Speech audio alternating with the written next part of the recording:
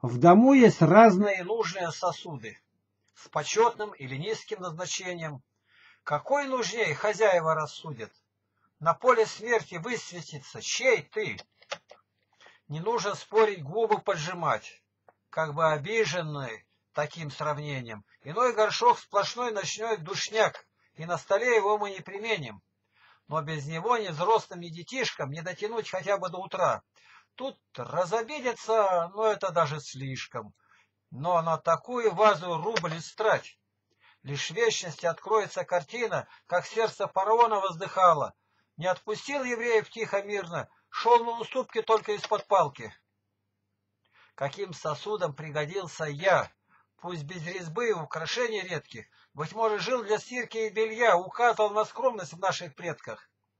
В жару несносную быть ключевой водой, хранимым бережно, пусть даже и в подвале. К тем водоносам торный путь ведет, напившись и других оживших звали. Срок годности у каждого сосуда определяет цельность и его хозяин. В почете быть на свалку ли присудит, помолимся, чтобы на пир нас взяли.